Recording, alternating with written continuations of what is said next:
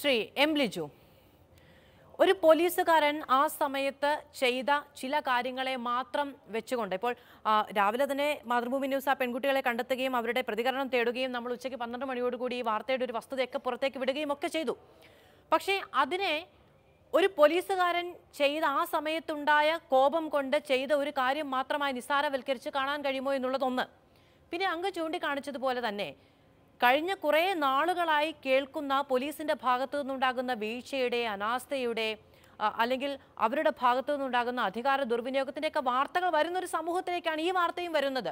അപ്പോൾ പോലീസ് ഫോഴ്സിനോടാകെ ഇത്തരത്തിലൊരു കാഴ്ചപ്പാട് ഉണ്ടായിട്ടുണ്ടെങ്കിൽ അത് സൃഷ്ടിച്ചെടുക്കപ്പെട്ടതല്ലേ കുറേ കാലയളവിലൂടെ കുറേ പ്രവൃത്തികളിലൂടെ? അല്ലാതെ പെട്ടെന്ന് ഒരു ദിവസം പോലീസിന്റെ ഭാഗത്തു നിന്നുണ്ടാകുന്ന ആദ്യത്തെ വീഴ്ചയിൽ തന്നെ പോലീസ് ഫോഴ്സിനെ ഒന്നാകെ കുറ്റപ്പെടുത്തുന്ന ഒരു പ്രവണതയാണോ അത്?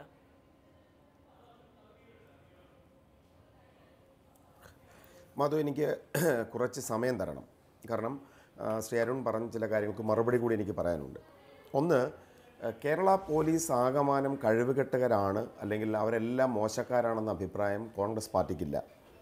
കേരള പോലീസ് ഇന്ത്യയിലെ തന്നെ ഏറ്റവും മികച്ച സേനകളിലൊന്നാണ്. അതിപ്പോൾ ഇത്തവണ അവാർഡ് കിട്ടിയെന്ന് പറഞ്ഞാൽ നിരവധി വർഷക്കാലമായി കഴിഞ്ഞ യു ഡി എഫ് സർക്കാരിന്റെ കാലഘട്ടം മുതൽ തന്നെ ക്രമസമാധാനത്തിന്റെ കാര്യത്തിലും ഇൻവെസ്റ്റിഗേഷന്റെ കാര്യത്തിൽ ഒന്നാം സ്ഥാനത്ത് നിൽക്കുന്ന പോലീസ് ഫോഴ്സ് കേരള പോലീസാണ് അത് ഏതെങ്കിലും ഒരു ഗവൺമെന്റ് കാലത്തുള്ളതെന്നുള്ള അത് തുടർച്ചയാണ്. നിരവധി മികച്ച ഓഫീസർമാരും മികച്ച തരത്തിലുള്ള മാനേജ്മെന്റും കൊണ്ട് കേരള പോലീസിന് സ്വായത്തമായ ഒരു സംവിധാനമാണ് ഈ ഒരു അവാർഡ് ഉൾപ്പെടെയുള്ള കാര്യങ്ങൾ. ഇവിടെ ഇപ്പോൾ കേരളത്തിലെ പോലീസ് സംഭവിച്ചിരിക്കുന്നത് എന്താണ്? കഴിഞ്ഞ പിണറായി വിജയൻ സർക്കാരിന്റെ തുടക്കം മുതൽ തന്നെ കേരള പോലീസ് സംഭവിച്ചിരിക്കുന്ന ഒരു പ്രധാനപ്പെട്ട പ്രശ്നം കേരള പോലീസിന് ദിശാബോധം അതിന്റെ അതിന്റെ ടോപ്പ് ലെവൽ ലീഡർഷിപ്പ് അതിനെ നയിക്കുന്ന ആഭ്യന്തരമന്ത്രി അതിന്റെ ഉന്നതതല ഉദ്യോഗസ്ഥന്മാർ. ഇവർ ഈ പോലീസ് ഫോഴ്സിന് ദിശാബോധം നൽകാത്തതിനാൽ ഇവർക്ക് റൂൾ ഓഫ് ലോയിലുള്ള വിശ്വാസം നിയമവാഴ്ചയിലുള്ള വിശ്വാസം നഷ്ടപ്പെട്ടിരിക്കുന്നു എന്നുള്ളതാണ് ഏറ്റവും പ്രധാനപ്പെട്ട പ്രശ്നം. അവിടെയാണ് ഈ ഇന്നത്തെ ട്രെയിൻ സംഭവം ഉണ്ടാകുന്നത്. അവിടെയാണ് പിങ്ക് പോലീസിന്റെ പ്രശ്നങ്ങൾ ഉണ്ടാകുന്നത്. ഇതേ സാഹചര്യത്തിലാണ് നിരവധി മയക്കുമരുന്ന് വേട്ട ഉൾപ്പെടെയുള്ള കാര്യങ്ങൾ നടക്കാതിരിക്കുന്നത്.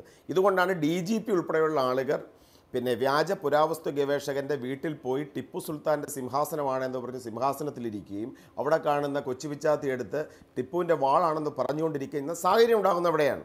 അപ്പം ഞാൻ പറഞ്ഞത് അതായത് കേരളത്തിലെ സാധാരണ പോലീസ് ഉദ്യോഗസ്ഥന്മാരെ അപമാനിച്ചുകൊണ്ടല്ല അവർ കഷ്ടപ്പെടുന്നുണ്ട് അവരുടെ വർക്ക് ലോഡ് തന്നെ കൂടുതലാണ് വലിയ തോതിൽ കഷ്ടപ്പെടുകയാണ്.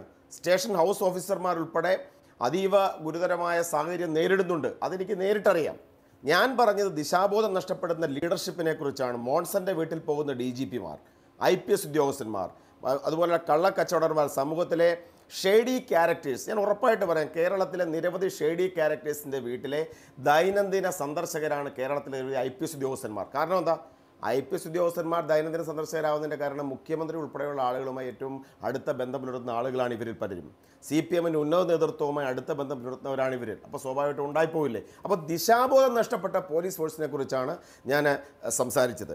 പിന്നെ കഴിഞ്ഞ യു ഡി എഫ് സർക്കാരിന്റെ കാലഘട്ടത്തിൽ ഇതൊന്നും നടപ്പിലാക്കില്ല എന്ന് അരുണിന് പറയാൻ പറ്റുമോ? ഓപ്പറേഷൻ കുബേര ഓപ്പറേഷൻ സുരക്ഷ എത്ര എത്ര? നമ്മുടെ മുമ്പിൽ ഡേറ്റ ആയിട്ടുണ്ടല്ലോ ഇവിടെ D Y S P Shri retired U S Shri Ashokan സാറുണ്ട്. അദ്ദേഹത്തോട് തന്നെ ചോദിക്കുക. ഏറ്റവും കൂടുതൽ പിന്നെ ക്രിമിനലുകളെ കാപ്പ ആക്ട് ഉപയോഗിച്ചും നിരവധി വകുപ്പുകൾ ഉപയോഗിച്ചും അറസ്റ്റ് ചെയ്ത ആ ഫോഴ്സിന്റെ ആ കാലഘട്ടത്തിൽ. സംഭവവാസത്തെ കുറിച്ച് നോക്കാം. എനിക്കിവിടെ പോലീസിന്റെ ദുരുപയോഗം ചെയ്തതും കഴിഞ്ഞ യു ഡി എഫ് ഗവൺമെന്റിന്റെ കാലത്താണ്. ഇന്നത്തെ പ്രശ്നം ഞാൻ സംസാരിക്കട്ടെ. ഞാൻ ഞാൻ താങ്കൾ പറഞ്ഞപ്പോൾ സംസാരിച്ചില്ലല്ലോ. താങ്കൾ ഞാൻ പറഞ്ഞതിന് ശേഷം താങ്കളുടെ അവസരത്തിൽ സംസാരിക്കും ഞാൻ മറുപടി പറയാം. അതല്ലേ എന്റെ ശരിയായ പറഞ്ഞതാണ്. ഇവിടെ ഇപ്പോൾ നടക്കുന്ന നടക്കുന്ന സംഭവവികാസങ്ങൾ ഓരോന്നായി ചിന്തിച്ചാൽ റെയിൽവേ റെയിൽവേ സ്റ്റേഷൻ ഇപ്പോൾ ഇവിടെ തന്നെ ട്രെയിനിൽ തന്നെ. നേരത്തെ ഉന്നയിക്കപ്പെട്ട കാര്യം അയാളെ ഇട്ട് ചവിട്ടി കൂട്ടുന്നതിന് പകരം അയാളൊരു ക്രിമിനലാണ്. നേരത്തെ പറഞ്ഞതുപോലെ മദ്യപിച്ച് സ്ത്രീകളോട് മോശമായി പെരുമാറി. അവിടെ ആ പിന്നെ Indian penal code section three fifty four പറയാൻ കേസെടുക്കണം. അയാളുടെ അഡ്രസ് ശേഖരിക്കണം. അയാളുടെ കൂടുതൽ ആളെ അറസ്റ്റ് ചെയ്യണം. ഇത് സമ്മതിച്ചാൽ അരുണിന് എന്താ പ്രശ്നം അരുണേ? അരുൺ സമ്മതിക്കണ്ടേ യഥാർത്ഥത്തിൽ? അതിന് പകരം അരുൺ ഒരു ന്യായീകരണ തൊഴിലാളിയെ പോലെ എൻക്വയറീസ് ആക്ട് പകരം അന്വേഷിക്കട്ടെ എന്ന് പറയുന്നതിന് പകരം ശരിയാണ്. പോലീസിന്റെ കാര്യത്തിൽ അവർക്കൊരു പ്രൊസീജിയർ ഒരു തെറ്റുപറ്റി. അവരെ അറസ്റ്റ് ചെയ്യണമായിരുന്നു. അയാളുടെ പേരിൽ എഫ് ഐ ആർ ഇടമായിരുന്നു ഇത് തുറന്ന് സംഭവിച്ചതുകൊണ്ട് പിണറായി വിജയന് പിന്നെ അല്ലെങ്കിൽ സംസ്ഥാന ആഭ്യന്തര വകുപ്പിന്റെ രോഷം അരുൺമേൽ ഉണ്ടാകുമെന്ന് ഞാൻ കരുതുന്നില്ല. സത്യം സത്യമായി അംഗീകരിക്കണം. ചെയ്ത തെറ്റാണെങ്കിൽ അംഗീകരിക്കണം. ഇവിടെ ഇപ്പോൾ ഉണ്ടായ കേരള പോലീസിന് ഏറ്റവും പ്രധാനപ്പെട്ട പ്രശ്നം എന്താ? കേരള പോലീസിന് കാര്യങ്ങൾ അന്വേഷിക്കാൻ പറ്റുന്നുണ്ടോ? കുടകര കുഴൽപ്പണ കേസിന്റെ കാര്യം എന്തായി? ബി ജെ പിയുടെ ഉന്നത നേതാക്കന്മാർ പ്രതിയായിരിക്കുന്ന കുഴൽപ്പണ കേസിന്റെ അവസ്ഥ എന്താ? കാസർഗോട്ട് ആ, ശരത് ലാലും കൃപേഷും കോൺഗ്രസ് യൂത്ത് കോൺഗ്രസിന്റെ രണ്ട് ചെറുപ്പക്കാർ. അതിക്രൂരമായി വെട്ടിക്കൊലപ്പെടുത്തി. ഹൈക്കോടതിക്ക് പറയേണ്ടി വന്നില്ലേ? എന്താണ് ഈ അന്വേഷിച്ചു വെച്ചിരിക്കുന്നത്? പ്രതികൾക്ക് വേണ്ടിയാണോ അന്വേഷണം നടക്കുന്നത്? സി ബി അന്വേഷിച്ചതിന് ശേഷം നേതാവായ കെ വി കുഞ്ഞിരാമൻ? പ്രതിയേർക്കേണ്ടി വന്നില്ലേ? ആ കുഞ്ഞിരാമനെ അല്ലേ നിങ്ങൾ ഏരിയ സെക്രട്ടറി എടുത്തത്? അരുണെ നിങ്ങൾക്ക് സംസാരിക്കാൻ കഴിയാതിരിക്കുന്നവരാണ്. ഇടയ്ക്ക് സംസാരിക്കുന്നത്. പറയും. ശേഷിയില്ലെങ്കിൽ താങ്കൾക്ക് സംവാദത്തിന്റെ രീതിയിൽ അതായത് ഞാൻ പറയുന്ന കാര്യങ്ങൾ ക്ഷമയോടെ കേട്ട് അതിന് കൃത്യമായി ഞാൻ താങ്കൾ പറഞ്ഞപ്പോൾ എനിക്ക് നിരവധി അഭിപ്രായ വ്യത്യാസം ഞാൻ ഒരു വാക്ക് പോലും പറഞ്ഞില്ല. കാരണം എന്താ? എനിക്ക് പറയുന്ന കാര്യത്തിൽ എനിക്ക് ആത്മവിശ്വാസമുണ്ട്. നിങ്ങൾ പറയുന്ന കാര്യത്തെ കൃത്യമായി അതിന് ഒരു അതാ അതാണ് ഇന്ത്യയുടെ ഒരു കൾച്ചർ അതാണ്. ഒരു എം ഒരു ഡിസൻസ് ഒരു അതാണ് അതിന്റെ കൾച്ചർ അതല്ല ഞാൻ പറയുന്നത് എന്നുള്ളതല്ല. കേട്ടോ? അതാണ്. അതുകൊണ്ട് കേരള പോലീസിനുണ്ടായിരിക്കുന്ന പ്രശ്നം അതാണ്. അമിതമായ രാഷ്ട്രീയ ഇടപെടൽ കാരണം നിങ്ങൾക്ക് അന്വേഷിക്കാൻ സാധിക്കുന്നില്ല. കേരള പോലീസ് അന്വേഷിക്കാൻ സാധിക്കുന്നില്ല. അന്വേഷണ ഉദ്യോഗസ്ഥന്മാർക്ക് നേരെയുള്ള രാഷ്ട്രീയ സമ്മർദ്ദം. അവരെ കൊണ്ട് തെറ്റായ കാര്യങ്ങൾ ചെയ്യിക്കുക കൊടകരെ കേസ് മുക്കുക ശരത്ലാലിന്റെയും കൃപേഷിന്റെയും കേസിൽ തന്നെ യഥാർത്ഥ പ്രതികളെ അറസ്റ്റ് ചെയ്യാതിരിക്കുക. അപ്പോൾ സ്വാഭാവികമായിട്ടും എന്ത് സംഭവിക്കും? രാഷ്ട്രീയ താല്പര്യമുള്ള ഇവർ പറഞ്ഞാൽ കേൾക്കുന്ന മോൺസന്റെ വീട്ടിൽ പോകുന്ന ആളുകളെ പോലീസ് സേനയുടെ മുകൾ പ്രതിഷ്ഠിക്കും. ജില്ലാ ആസ്ഥാനങ്ങൾ പ്രതിഷ്ഠിക്കും. സി പി എമ്മിന് അനുകൂലമായി സംസാരിക്കുന്നവരെ പ്രതിഷ്ഠിക്കും. അപ്പോൾ പിന്നെ എഫിഷ്യൻസി ഉണ്ടാകുമോ? എഫിഷ്യൻസി ഇല്ലാത്ത ഓഫീസർമാരും ഉദ്യോഗസ്ഥന്മാരും ഇല്ലാത്ത അല്ല പ്രശ്നം. Kerala police is the most efficient police force in this nation പക്ഷെ സംഭവിച്ചിരിക്കുന്നത് എന്താ? എഫിഷ്യന്റ് അല്ലാത്ത രാഷ്ട്രീയ നേതൃത്വമാണുള്ളത്. എഫിഷ്യന്റ് ഇല്ലാത്ത അഡ്മിനിസ്ട്രേറ്റീവ് നേതൃത്വമാണുള്ളത്. അവരിവരെ ഇവരുടെ പ്രവർത്തനങ്ങളെ തടയുന്നു. അത് നിമിത്തം പോലീസിന്റെ മുറയിൽ നഷ്ടപ്പെടുന്നു. കേരളത്തിൽ എത്രയോ കാലമായി പഴയ പ്രകാശ് സിംഗ് കേസ് ഉൾപ്പെടെ തന്നെ നമ്മുടെ കേരള പോലീസിലുണ്ടാകുന്ന ഏറ്റവും മാറ്റേണ്ട മാറ്റങ്ങളെക്കുറിച്ച് എത്രയോ കാലമായി ചർച്ച ചെയ്യുന്നു. ഒരു ഇൻവെസ്റ്റിഗേറ്റീവ് വിഭാഗം വേണം. ലോ ആൻഡ് ഓർഡറിന് വേറൊരു കാര്യം വേണം. പ്രിവെന്റീവ് സംവിധാനങ്ങൾ വേണം. കഴിഞ്ഞ ആറ് കൊല്ലക്കാലമായി ഭരിക്കുന്നത് കേരളം ഭരിക്കുന്നത് പിണറായി വിജയൻ സർക്കാരല്ലേ? നടക്കാൻ സാധിക്കുന്നുണ്ടോ? ഞങ്ങൾക്ക് ഞങ്ങളുടെ കാലത്തിൽ പൂർത്തിയായില്ല. അതുകൊണ്ടാണല്ലോ നിങ്ങളുടെ കയ്യിൽ അധികാരം തന്നത്. എന്തുകൊണ്ട് കഴിഞ്ഞ ആറ് വർഷക്കാലമായി ഈ മേഖലയിൽ മുന്നോട്ട് പോകുന്നില്ല? അപ്പോൾ ഇത് വളരെ ഗുരുതരമായ ഒരു സാഹചര്യം സൃഷ്ടിക്കപ്പെട്ടിരിക്കുന്നു. മൊറയിൽ നഷ്ടപ്പെട്ട കേരള പോലീസ് അതിന്റെ കാരണം അതിന്റെ തലപ്പത്തിരിക്കുന്നവരെ രാഷ്ട്രീയ മേലാളന്മാരുടെ അടിമകളാണ്. സത്യസന്ധമായ കാര്യങ്ങൾ ചെയ്യാൻ പറ്റുന്നവരെ ആ പോസ്റ്റുകൾ ഇരുത്തുന്നില്ല. വലിയ തോതിലുള്ള political intervention C P M ക്രിമിനലുകൾക്ക് ആനുകൂല്യങ്ങൾ കൊടുക്കാൻ വേണ്ടി പോലീസിൽ തന്നെ അനുകൃതമായ ഇടപെടൽ ഒരു പാർട്ടി എന്ന നിലയിൽ നടത്തിക്കൊണ്ടിരിക്കുന്നു. പക്ഷേ ശ്രീ എം ഈ പാർട്ടി സമ്മേളനങ്ങളിലെല്ലാം പരാതി അങ്ങനെയല്ല. പാർട്ടിക്കാർ പോയാൽ പോലീസ് സ്റ്റേഷനിലേക്ക് പോയാൽ വലിയ അവമതിപ്പും വേണ്ടി വന്നാൽ കയ്യേറ്റവും ഉണ്ടാകുന്നുണ്ടെന്നാണ് ഈ സമ്മേളനങ്ങളിലൊക്കെ സി പി എം പ്രവർത്തകരുടെ പരിദേവനം. അല്ല മാധു എനിക്ക് സി പി എമ്മിന്റെ എല്ലാ പ്രവർത്തകരും മോശക്കാരാണെന്ന അഭിപ്രായക്കാരൊന്നുമല്ല.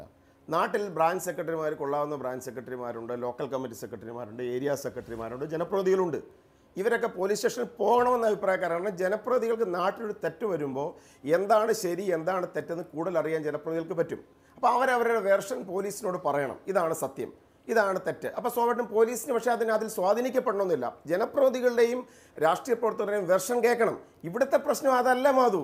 ഇവിടെ ഇപ്പോൾ ബ്രാഞ്ച് സെക്രട്ടറിക്കും എൽ സി സെക്രട്ടറിക്കും ഏരിയ സെക്രട്ടറിക്കും ഒന്നും കാര്യമില്ല. നിരവധി മോൺസന്മാരാണ് കേരളത്തിൽ ഇന്ന് പോലീസിനെ ഭരിക്കുന്നത്. സി പി എമ്മിന്റെ രാഷ്ട്രീയ നേതൃത്വത്തെ നിയന്ത്രിക്കാൻ ശേഷിയുള്ള നിരവധി രാഷ്ട്രീയ ദലാളന്മാർ. പേരെടുത്ത് പറഞ്ഞ ഓരോ ജില്ലയിലുമുണ്ട്. മാധു ഇതുപോലുള്ള രാഷ്ട്രീയ ദലാളന്മാർ. എന്റെ ജില്ലയെ ആലപ്പുഴയിലെ ഇത്തരം പൊളിറ്റിക്കൽ ദലാളന്മാരുടെ കാര്യം എനിക്കറിയാം. ഐ പി എസ് ഉദ്യോഗസ്ഥന്മാർ വീടിൽ പോയി കാവലിരിക്കുന്നവർ. സി പി എമ്മിന്റെ ഉന്നത നേതാക്കന്മാർ വന്നാൽ അവിടുത്തെ ഏരിയ സെക്രട്ടറിയുടെ വീട്ടിൽ പോകത്തില്ല. അവിടുത്തെ ലോക്കൽ കമ്മിറ്റി സെക്രട്ടറിയുടെ വീട്ടിൽ പോകത്തില്ല. ഈ പൊളിറ്റിക്കൽ പവർ ഹൗസസിന്റെ വീട്ടിലാണ് പോകുന്നത്. ഈ നേതാക്കന്മാരുമായി വ്യക്തിബന്ധം പുലർത്തുന്നവർ ഇവരുടെ ബിനാമി സ്വത്തുക്കളുടെ സംരക്ഷകർ. അപ്പോൾ സ്വാഭാവികമായിട്ടും എന്ത് സംഭവിക്കും? ഏരിയ സെക്രട്ടറി പരാതി പറയും.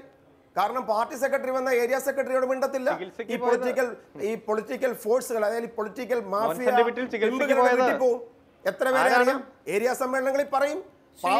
അരുൺ ചൂണ്ടിക്കാണിക്കുന്ന ഒരു പറയുന്നത് ഈ മോൺസണുമായിട്ടുള്ള ബന്ധത്തിൽ അങ്ങനെ. സി പി എമ്മിനെയും പോലീസ് ഉദ്യോഗസ്ഥരെയും മാത്രം കുറ്റപ്പെടുത്താൻ കഴിയുമോ? കെ സുധാകരനെതിരെയുള്ള വിമർശനമാണ് അദ്ദേഹം ചൂണ്ടിക്കാണിക്കുന്നത്. എത്ര ദിവസമാണ് ചികിത്സ നടത്തിയത്? ചികിത്സയ്ക്ക് പോയി കേസുകാരൻ അംഗീകരിച്ച കാര്യമല്ലേ? ഡോക്ടർമാരുടെ വീട്ടിൽ നിങ്ങൾ എന്താ അന്വേഷിക്കാത്തത്. സുധാകരന്റെ കാര്യത്തിൽ അദ്ദേഹം പറഞ്ഞു ഞാൻ പോയിട്ടുണ്ട്. നിങ്ങൾ ഇത്രയും വലിയ ക്രിമിനലിന്റെ